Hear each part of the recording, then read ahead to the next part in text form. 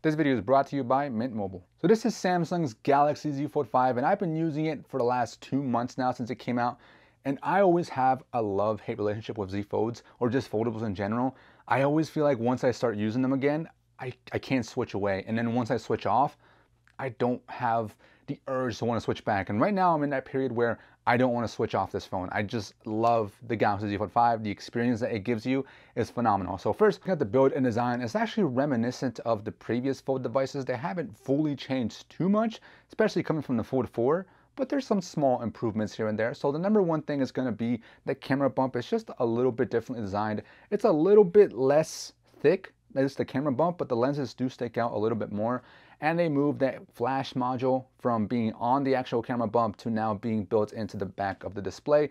So cases from previous Z Fold 4s aren't gonna fit perfectly, or they will fit perfectly, but they are gonna cover up that flash camera. Another thing to note is that the Z Fold 5's gap has been decreased dramatically compared to last year.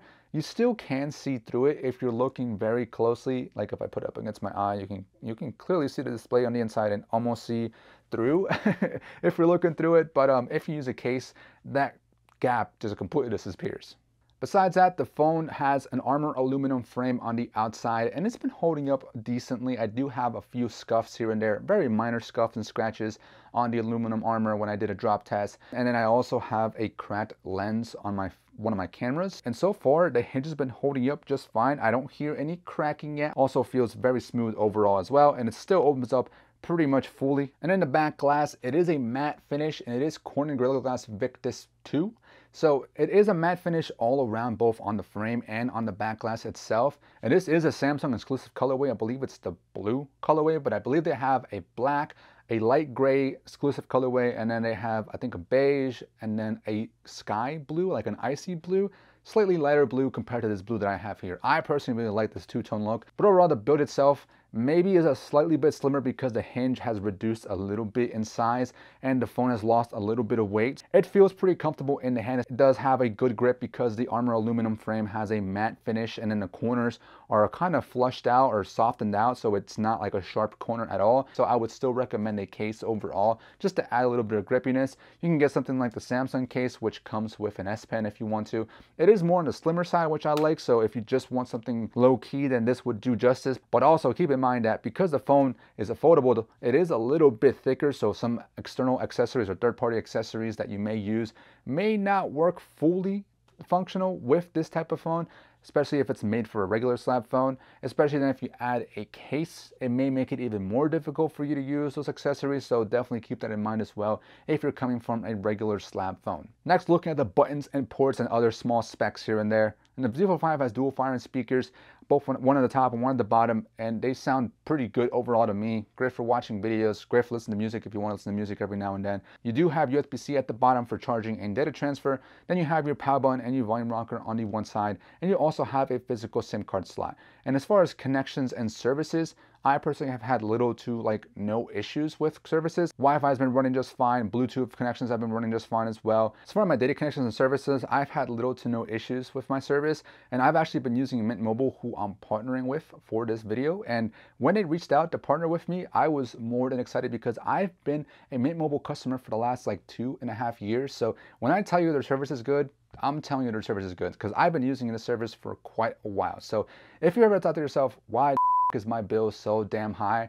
Well, let me tell you about Mint Mobile. You, maybe you've heard of them, maybe you haven't. Maybe you've seen their ads with Ryan Reynolds. They're pretty funny if you haven't seen them before. Definitely look them up. But let me tell you about their service. They offer plans as low as $15 a month, and you don't have to sacrifice speed, coverage, or data because they're built on the nation's largest 5G network. And they're actually able to keep costs so low because they actually don't have physical stores. They don't hire physical salespeople. Everything is just done online. They sell directly to you from there. So why would you pay more than you have to to access the same network? It doesn't make sense to me. So if you're interested and want to save big on premium wireless, check the link down in the description or scan the QR code right now on the screen. I've actually switched myself and like I said, everyone else in my family to Mint Mobile over the past two years and everyone's been enjoying it. You know, parents on Facebook, me on YouTube, browsing the internet, my sister on her TikTok and Snapchat and Instagram and social media everyone's been having a great experience so far. And in fact, Mint Mobile actually offers a modern family plan with up to two lines, which is actually what my family does. And switching to Mint Mobile is super easy as well. It takes like 15 minutes to pay as little as $15 a month.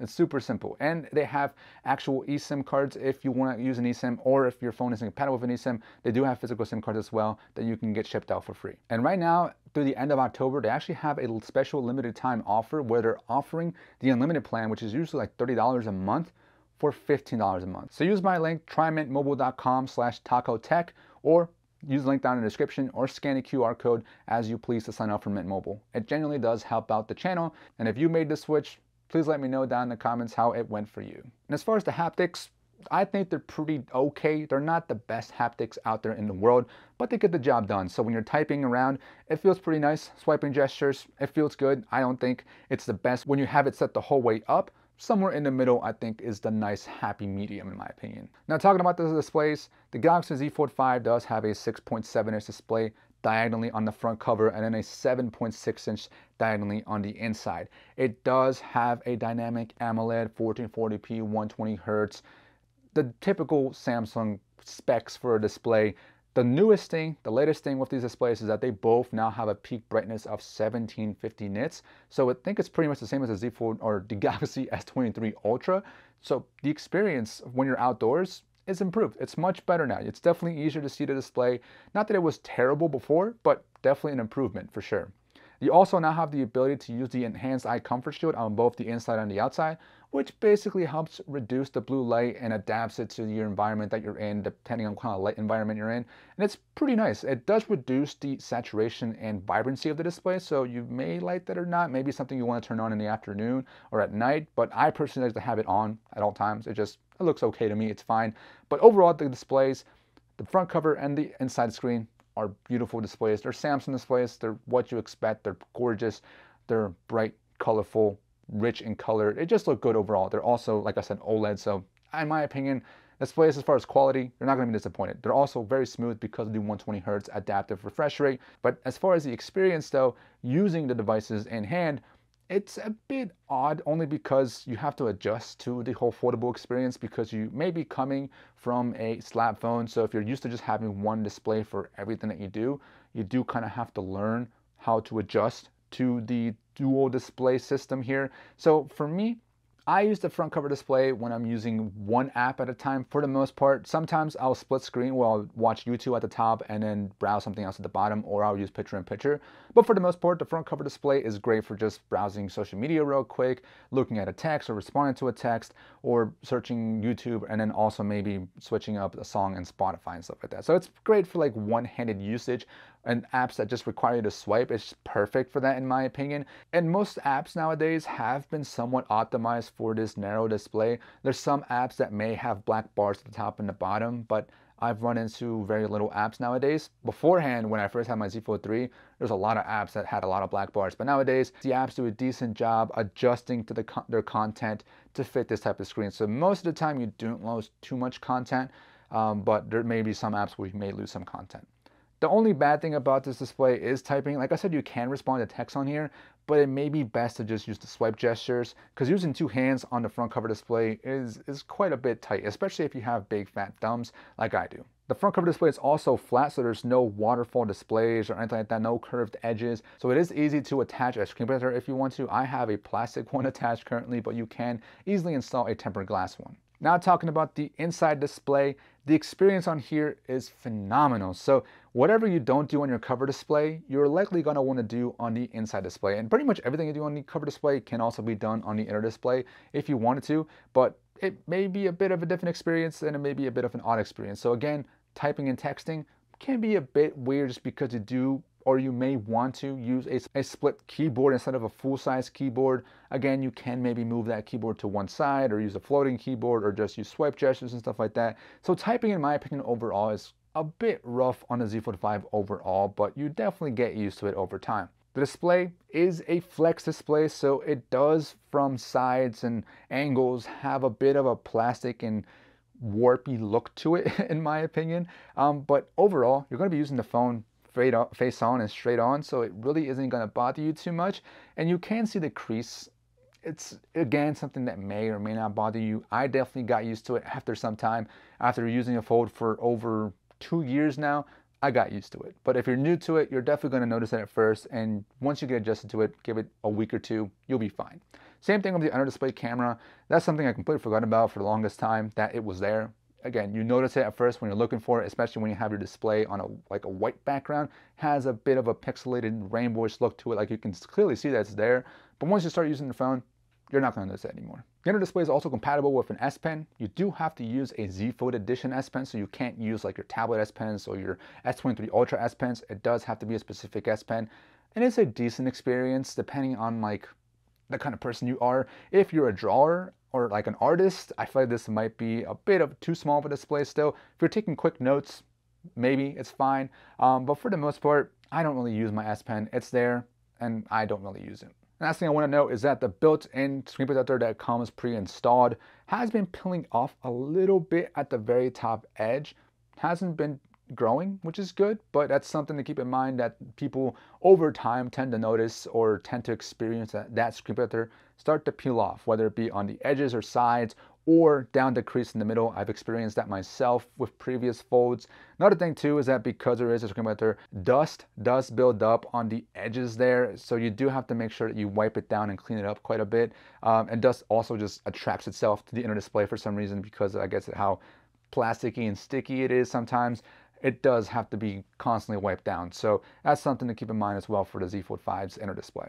Next, let's talk about biometrics. So the Z Fold 5 does have a built-in fingerprint sensor on the power button. So it is a physical fingerprint sensor, so it's relatively fast and relatively reliable. So I've had little to no issues with it. So it works pretty much fast and easy. And you do have the option of turning it on or having it set to always be on. So as soon as it detects there's a finger on it, it automatically detects if it's your finger. So I think it's pretty convenient and you can have it set so that it's either turned on all the time when it's folded or once you open it, that feature turns off. So you can really decide how you want to customize that before it was either always on or either always off. One thing I do want to note is that when you're setting your fingerprint up, you do have to have the phone folded open which is kind of weird because with my left hand, since I'm mostly right-handed, I mostly use my right hand and I use my thumb on my right hand to unlock it. With my left hand, I end up using my middle finger. So I have to stretch across to unlock it.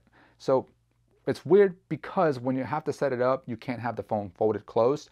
So when I'm setting it up, it, I have to kind of finesse it so it's almost like if I had the phone closed, but not quite because otherwise it'll cancel it and interrupt it. So I wish they would allow me to set it up so that I can have the phone closed and set up my fingerprint that way. And when I'm actually using it, there's a lot of times with my middle finger where it doesn't recognize it. Just because I think the way when I'm setting it up, it's not the same exact position as if it was closed. And you also have facial recognition available both on the cover display and also on the inner display. So whichever one you pick to choose or however, you have it open and, and, turn it on, it should be able to recognize you on both displays. And it works relatively okay. It's not the most reliable and most uh, secure, but it gets the job done in my opinion. It won't work if you're in a very low light environment or if your phone's like very far away from you or at a different angle, at a weird angle. It may not recognize you, but for the most part, it does the job and it gets it done. And you can also decide if you want the lock screen to be bypassed as soon as it recognizes your face or to stay on the lock screen. You can also have it so that once it recognizes your face and it stays on the lock screen, your notifications can stay hidden or I guess the details of it can stay locked. And once it sees your face, it unlocks them and shows you the actual details. And one thing I forgot to mention with the fingerprint sensor, before with other previous folds, they had this gesture feature that allowed you to swipe down on the fingerprint sensor to bring down your notifications. They no longer have that. I don't know if they changed the physical fingerprint sensor itself or if they just removed it from the software. So I miss it a little bit, but I have adapted to it by using the Good Lock feature now, where you can swipe down from the left-hand side or double tap the back of the device to be able to get into those notifications. So I do still miss it though, and that's something if you didn't know is gone now. And the phone is IPX8 water resistant rated, so that means that it can withstand water. So if you splash water at it, or if you accidentally drop it in water, it should survive and be just fine. But if you drop it in dust and sand or dirt, there's a chance that you may either get stuff stuck within the hinge, or if you close the device, the display with stuff within it, yeah, you're, you're, you're kind of screwed maybe. So definitely be careful around dust particles and sand and stuff like that. But with water, just chuck it into water, it doesn't matter. As far as performance, you do have the latest hits and specs of the Z Fold 5. Snapdragon 8 Gen 2, 12 gigabytes of RAM, I believe it's LPDDR5X RAM, UFS 4.0 storage starting at 256 up to a terabyte. I personally have 512. Then you have the Adreno 740 GPU. What does all that mean? Basically, flagship specs, and you're going to be having a phenomenal experience, in my opinion. From day one to the day, I don't remember a day where the phone either was overheating, lagged, or all the bad negative cons that you can think of. I think this phone has been running tremendously well, super smooth when you're just browsing around, even within apps. For the most part, it runs really well as well. There's some apps that may have a delay here and there, and when you're swiping home, maybe a hiccup every now and then, but honestly, never noticeable because it happens so quick if there's ever a skip in a frame or something that you honestly won't even notice it. In some games, I did notice a bit of a frame drop here and there. Again, I am trying to push sometimes the settings to try and get the best quality settings on in some of the games. So, for example, Minecraft, there's a couple times where I was uh, increasing the rendering. I think the distance rendering. I don't know what the heck it was, but either way, I, I noticed a couple frame rates skipped every now and then. But honestly, still the gameplay was still phenomenal. It was still what I expected it to be. And I'm running it on a big display as well compared to just a regular slab phone. So I am personally very satisfied with the performance on the Z Fold 5. Don't have much to complain about and rave about, honestly.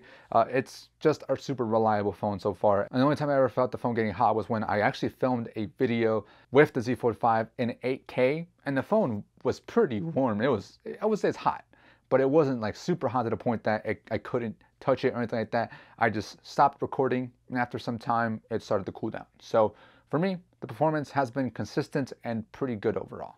Now, as far as the software, it is Android and it's also running Samsung's One UI 5.1.1, I think is the latest one as of the recording of this video.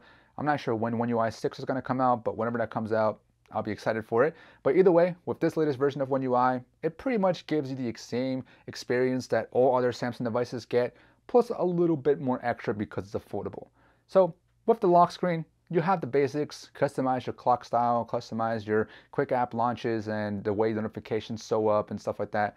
It's very simple customization. You can change the filters for the wallpaper as well. And you can also add like a contact info in case you lose your device. And then moving on to the home screen, you get the usual Android stuff, you know, with the move apps anywhere, and now you have the ability to also put widgets together to be able to scroll through them. So you have scrollable widgets or stackable widgets, however you want to call it.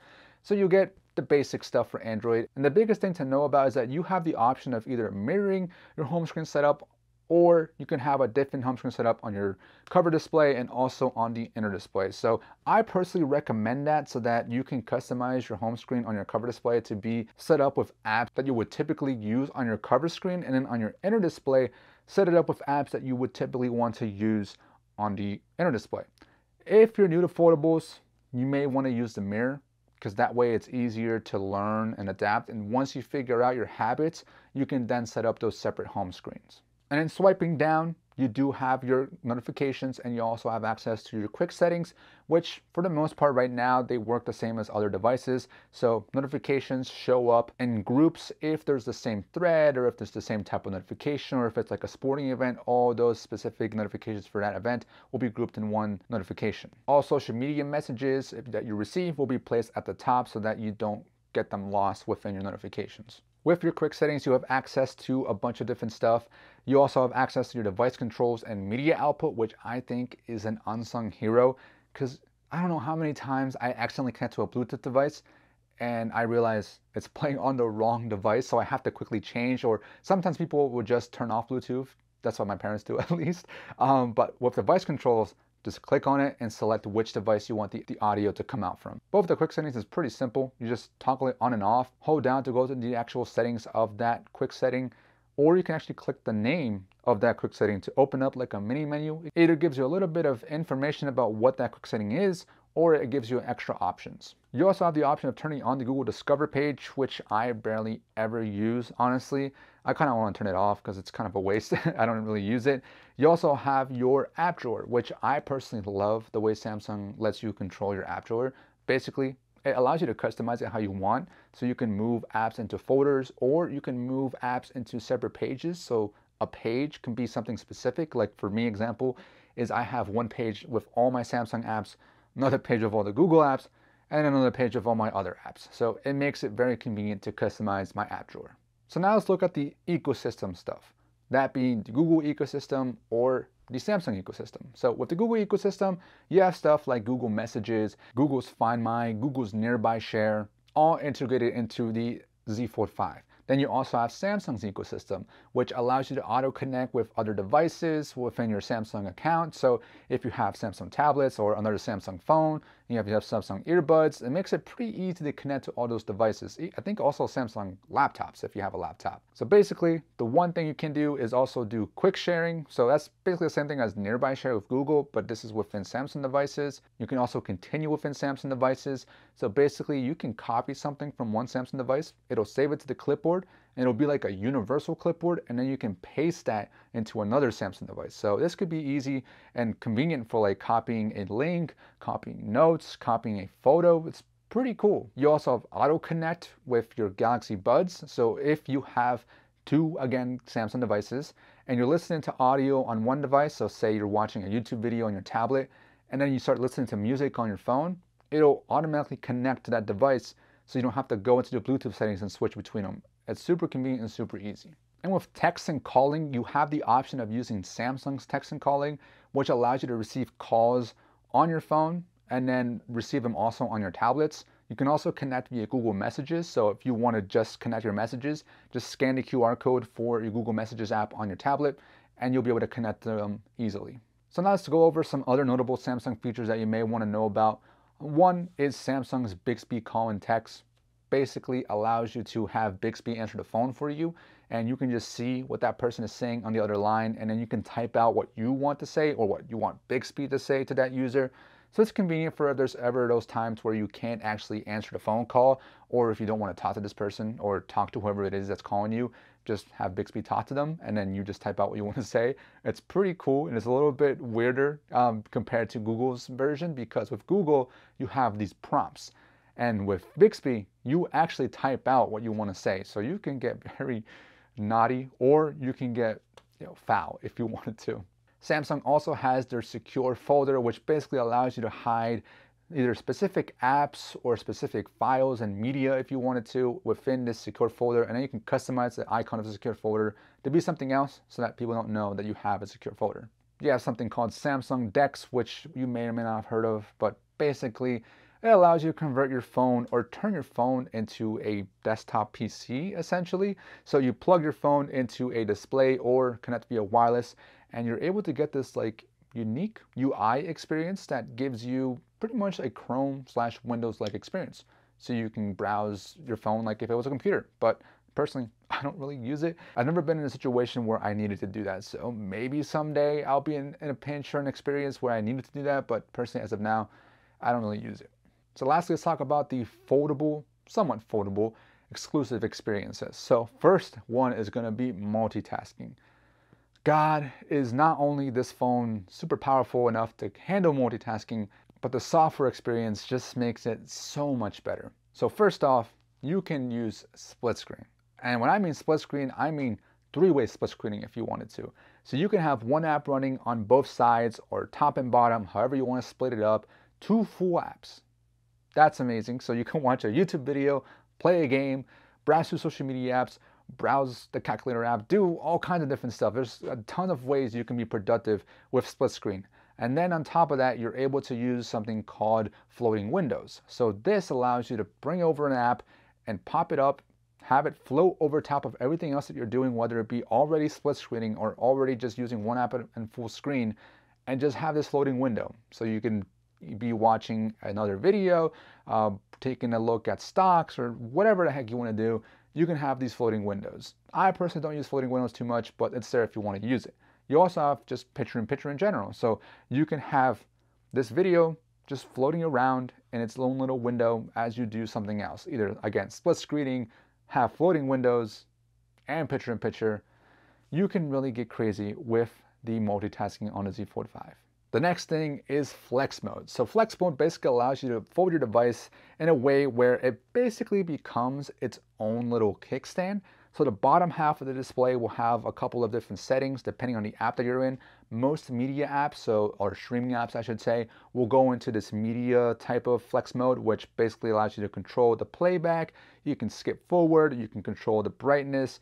And if you go into like the internet, you have the ability to turn this into a trackpad. I think actually most apps, um, when you go into flex mode, you can have this turn into a trackpad. So it's almost like you have a mini computer it's very cool. It's very convenient for when you're watching a video though. That's the biggest thing in my opinion. So say you're watching a video in full screen, you're walking with it or something, and then you get to a table. You just put it in flex mode and that's it. Before, you would probably have to try and prop your phone up with something, or if you have one of those cases that has a kickstand and whatever, you know, UBU. But if you don't have those cases, or if you don't have something to prop your phone up, just use flex mode. It's super convenient and super cool in my opinion. And lastly, software support and software updates. You'll be getting four years of major OS updates and then five years of security updates with the Z Fold 5. So you're good until what, 2023? So all the way to 2027 or 2028, you're set. You're set, my guy. Now, software may last, but the hardware is always the biggest question. So that's always something to keep in mind as well. And as far as how consistent or updating the device, I think I've gotten at least two updates, at least, I think two, yeah, two updates with the Z Fold 5 since it's released. So there you go. So next, let's talk about these cameras. They haven't really changed much as far as hardware, and I'm gonna try something different with the cameras this time around because I always feel like when I talk about cameras, I feel like I don't know what I'm talking about. I always feel like I'm just saying random stuff and hoping it sticks or hoping it makes sense, and I find that's not really helpful. What I'm gonna do is just, right now I'm telling you right now, the Z Fold 5 cameras are great. They're great for what they offer. You're not going to be getting a bad experience as far as cameras. You do have five different cameras. You have your front cover display camera, your back cameras, which is a ultra wide, a regular wide, and then a telephoto. And then you have your under display camera on the inner display. So all I'm going to do is just put up samples for you guys and let you decide whether or not these cameras, the quality that that's producing is good for you. So I'll do photos and I'll do videos and I may do some other random settings for videos and stuff like that. So I'll just put in the description or I'll just put like on, on the screen, I'll stamp it with what it is that you're seeing. So hopefully that's more helpful than me just trying to pretend that I know what I'm talking about. So let me know what you think of the cameras down in the comments.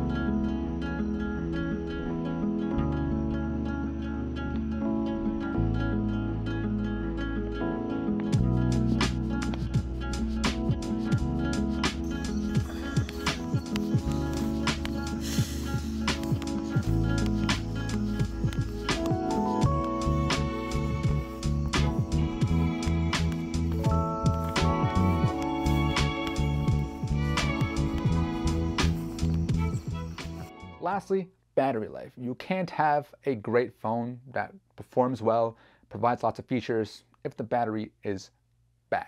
So the battery life for me has been, I would say, overall really good. So I've been getting anywhere from maybe at the minimum 12 hours to a day, sometimes a day and a half of battery life all depends on what I do that day or what I'm putting it up, against and how long I'm using it for. So everyone's mileage is always going to vary here. But for me, I mostly just browse social media, maybe like Reddit, watch YouTube videos, the internet, maybe check a couple of other apps here and there. But for the most part, it's very basic usage. So I get anywhere from a minimum of two hours to four or five hours screen on time. Again, depends on the day. So for me, battery life has been nothing but good to me with the Z Fold 5. As far as the charging speeds, you do have 25 watts of wire charging and then 15 watts of wireless charging. I don't really use wireless charging that much, but it's there if you want to use it. You also have reverse wireless charging as well.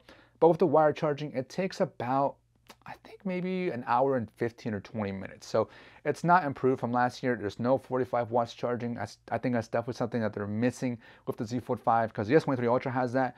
They got to bump it up to 45 sometime. I don't know what they got to do with the battery on the inside. I'm sure it has to do with the technology that they're using or because it's a foldable and stuff like that. They don't want to make it too hot when it's charging. Um, so I hope to see that as an improvement sometime. Maybe the Fold 6? I guess we'll find out. So there you have it. That's the Galaxy Z Fold 5 after about two months or so of usage. Let me know down in the comments what you guys think of the Z Fold 5. Is it a phone that you're considering or if you're upgrading from a previous old Z Fold? I actually think that if you're coming from a Z Fold 3 or older, it may be worth the jump, especially just because you're getting a boost in those like specs and performance. It may be worth it. But other than that, if you have the Z Fold 4, I'd wait it out one more year. I personally think it's not big enough of an upgrade maybe just the, the specs, but besides that, I think it's worth waiting one more year. If you're coming from a regular slab phone, unless you're strapped with cash, again, depends on the phone that you have right now, but unless you're strapped with cash, I would also consider maybe getting a Z Fold 4. And the reason I say that is because not everyone's gonna have a fantastic experience with a foldable because you may be new to it. And if you're new to it, you may not like that experience. So consider getting a Z Fold 4 first or a Z Fold 3 even. Try it out for a bit. And if you have the ability to return it, or actually make sure you have the ability to return it, because if you can, return it and then commit to the Z Fold 5. Because otherwise, I, I, I, would hate for someone to commit to the Z Fold 5 just because it's a very good phone, because it is a good phone, and then not like the experience because of the foldable experience. So definitely keep that in mind. But with that being said, the Z Fold 5, fantastic phone in my opinion. It's overall a good package, but it really depends on what you're coming from, whether or not you should get it. So with that being said, hope you guys enjoyed. Peace.